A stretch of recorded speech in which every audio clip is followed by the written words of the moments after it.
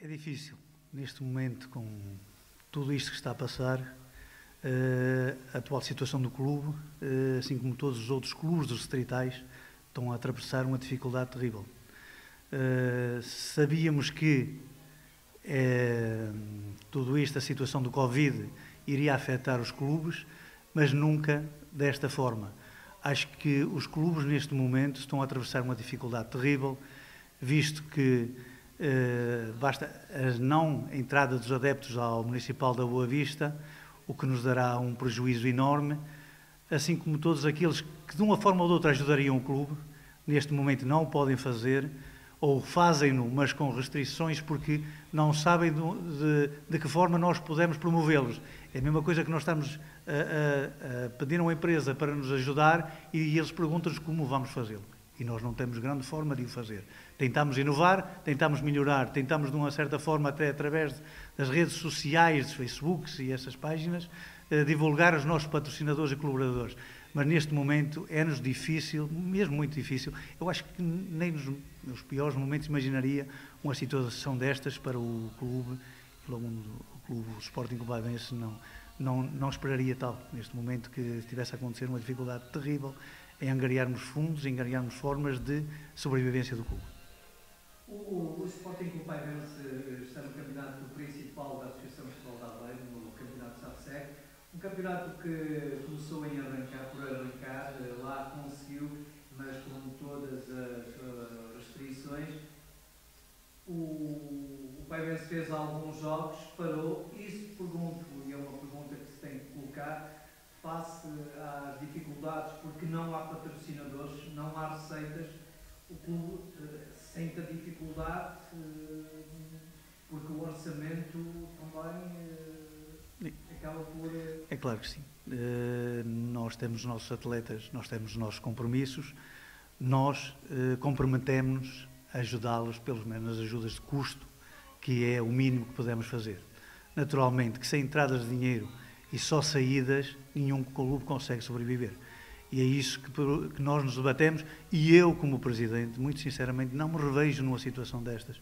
Eu revejo-me todos os dias a tentar arranjar formas do clube sobreviver, mas não vejo as pessoas a deixarem o clube a ir ao abismo e não estarem a ver que isto não tem condições do clube continuar a jogar, do campeonato continuar a andar para a frente nestas condições que são eu acho que não, não existem condições uh, piores que estas. É a gente saber que vai para um jogo sem saber em que condições nos encontramos, sem saber com o que é que nos vamos debater, sem saber se de hoje amanhã estamos a afetar as nossas famílias, as famílias dos nossos diretores, que é muito importante também, as famílias dos nossos jogadores, os seus próprios empregos podem estar em risco e paramos, uh, os jogadores não são máquinas.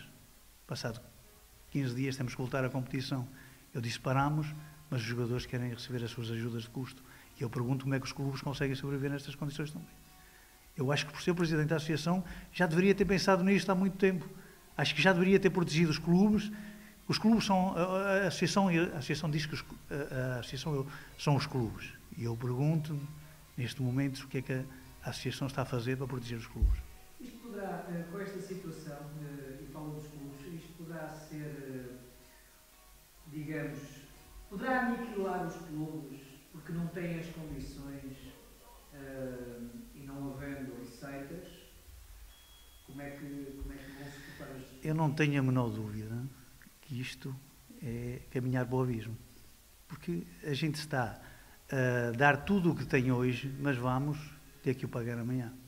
Não adianta estarmos aqui a tapar o sol com a peneira, porque nós, a estar a investir hoje o que temos e o que não temos, hoje amanhã vamos ficar a zero.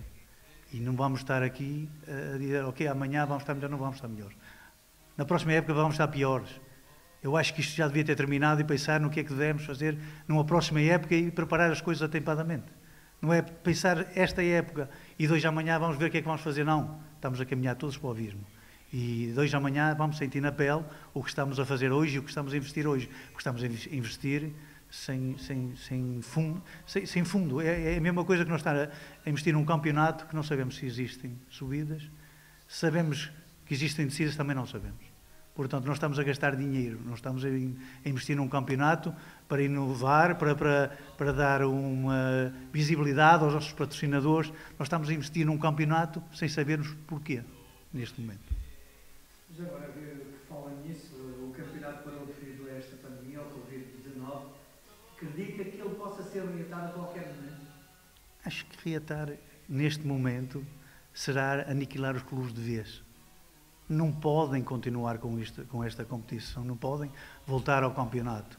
Não faz sentido nós voltar ao campeonato sem testes, não faz sentido nós ajudarmos a propagar, neste momento, a pandemia.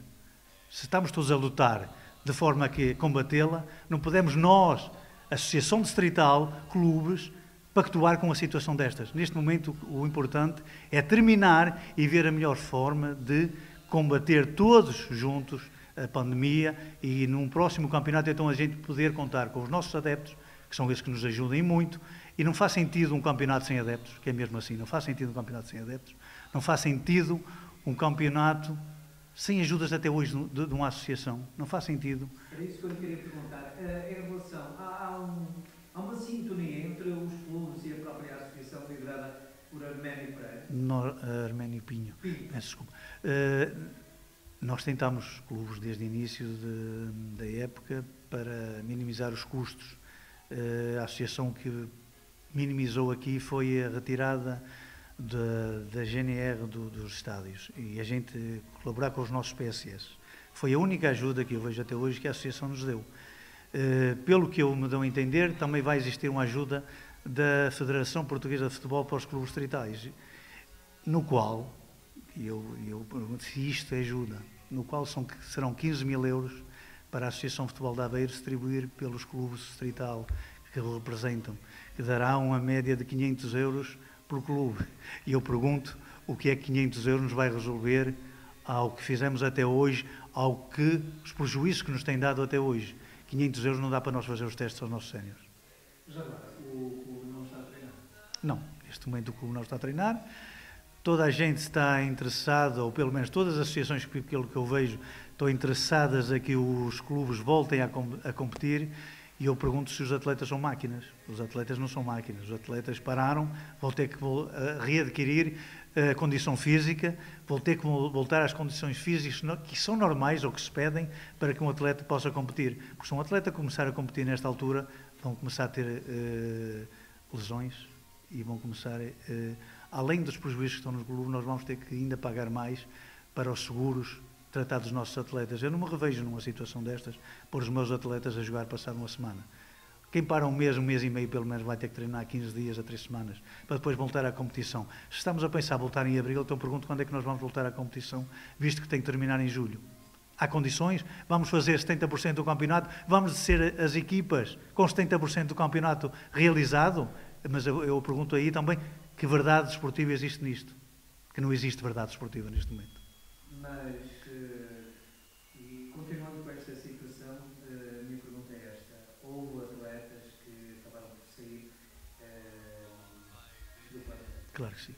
Claro que sim. Existem atletas que têm, além de eles próprios terem, serem doentes de risco, alguns podem ter os diabetes, outros têm outras situações, também têm as suas famílias em casa e os seus pais ou com quem eles uh, estão diariamente também têm problemas. E eles não vão arriscar por meia dúzia de questões que é mesmo assim pôr a família toda em risco. E eu estarei do lado deles e vou estar sempre do lado deles quando eles tomam essa decisão. Eu não vou, o que, é que, o que é que eu lhes vou prometer, o que é que eu lhes posso dar? Nada. Portanto, o que devíamos dar e o que podíamos prometer, que seriam os, os testes médicos não existem. Portanto, vou-lhes prometer o quê? Prometê-los cumprir? Vou cumprir sempre com eles na íntegra. O que lhe prometi, vou cumprir sempre. Agora, eh, prometer o que não posso fazer, não vou prometer. Se eles tiverem que tomar essa decisão, eu vou apoiá-los.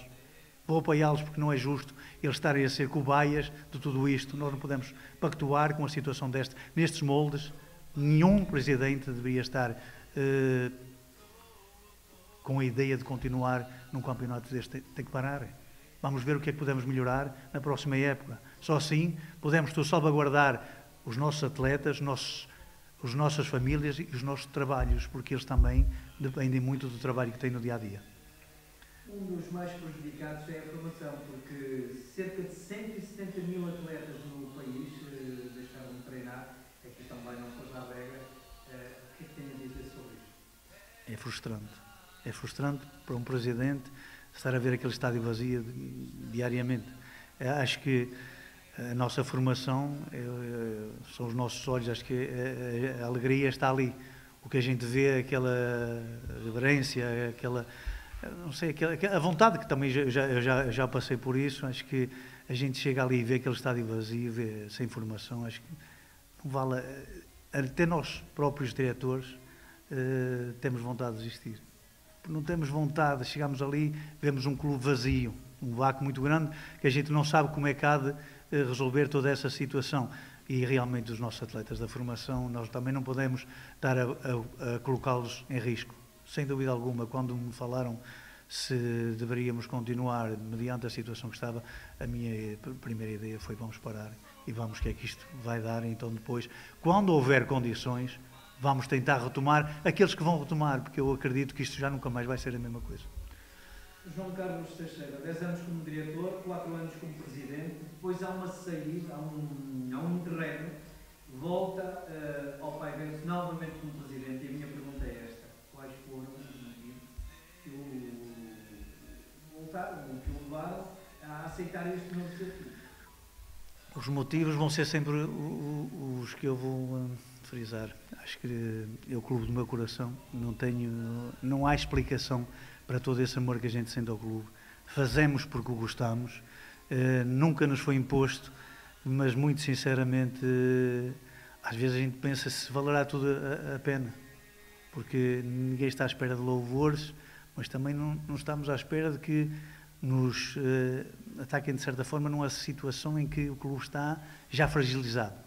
E eu, muito, hoje posso agradecer aos meus diretores e todos aqueles que me ajudaram porque realmente são homens incansáveis. Eh, eu tenho uma direção de, de, pessoas, eu não vou dizer que são muitas, mas são os melhores.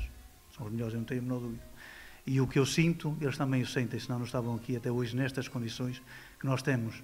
Regressei ao clube com um problema gravíssimo uh, a nível financeiro. Neste momento o clube está estável, mas atravessar uma dificuldade terrível porque não sabemos como nos devemos de mexer para melhorá-lo.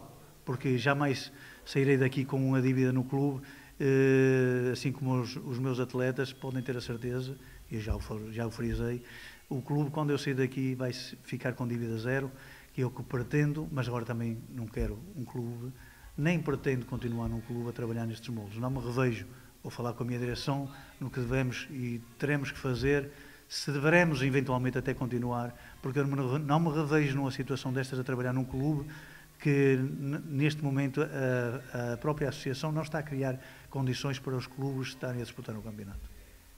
Já agora, com a eh, estabilidade financeira, pergunto qual é o orçamento do, do Paivense para esta época, que é forte. Exatamente, e, e, é esse que tem e terá em compromisso enquanto os jogadores estiverem uh, aqui no clube. O Paivense terá um orçamento neste momento a rondar os 4 mil e 4 mil e poucos euros, porque já reduzimos cerca de mil euros, eu até digo cerca de mil euros ao plantel, pelas desistências, por eh, saídas de atletas, eh, já reduzimos mil euros ao plantel. Agora, se tudo isto for para continuar, naturalmente que o Pai Vence terá que fazer uma gestão totalmente diferente. O Pai Vence poderá trabalhar nestes moldes quando tudo é, está dentro do normal. Quando tudo sai dentro deste normal que a gente diz previsto, naturalmente terá de trabalhar noutras condições e foi isso que a gente já já criou uma assembleia extraordinária para debatermos a situação do clube e para ver o que realmente o que é que poderemos e devemos fazer. E se ele continuar a trabalhar, a fazer um campeonato nestas condições, claro que vai ter que reduzir muito mais ao, ao orçamento que, que temos até hoje para poder cumprir. Esse do orçamento, grande parte vem da Câmara e a Câmara tem ajudado o clube. A Câmara tem sido uma grande ajuda, naturalmente que tem sido, sem dúvida alguma. Ainda há pouco nos sentámos com o Sr. Vereador do, do Desporto, no qual se disponibilizou de, completamente para ver a situação do clube e do que é que poderíamos eventualmente melhorar ou ver uma forma de resolver toda, toda esta dificuldade que o clube está a atravessar. E ele predispôs-se prontamente a, ver a situação do clube e ajudar o clube, caso fosse preciso, assim como eu lhe, disse, eh, se precisar, se o clube não precisar, eu jamais eh, irei à Câmara para pedir ajuda quando o clube não precisa. Farei porque realmente necessito, se não precisar, não o farei. Eh, é uma forma de eu trabalhar, nunca vou massacrar nem andar sempre constantemente na Câmara Municipal a pedir uma ajuda quando não preciso. Só se a precisar mesmo é que pedirei mais à Câmara, porque acho que a Câmara Municipal já ajuda e muito o Sporting Clube. No ano em que o Pairense completa 79 anos de existência, eu pergunto qual era a prenda que gostaria de? Eu acho que neste momento também a prenda é que tudo isto passasse, tudo isto fosse ultrapassado e que a gente voltasse a ter os nossos adeptos no Estado e que tudo voltasse dentro da normalidade, que já sabemos que nunca vai ser o mesmo, mas dentro daquela que a gente pensaria, no mínimo, ter, que serão os nossos adeptos lá e a nossa formação a treinar neste momento.